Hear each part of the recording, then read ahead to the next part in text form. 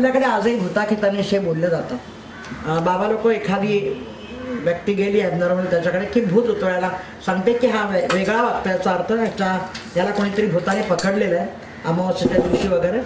आणि मग असं मंत्र म्हणतो.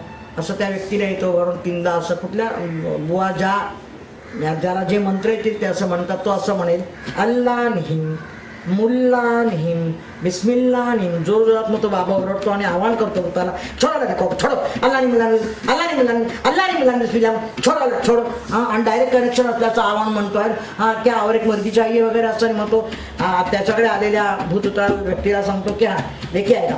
मुली हा अल्ला नि मिला अल्ला नि मिला अल्ला नि बिस्मिल्ला छू. आणि मग सांगतो की बघा भूत आलं की नाही वाटते कारण मी या कलशाला किंवा लोट्याला कुठल्याही प्रकारचा आधार दिला नाही खाली सपोर्ट दिला नाही.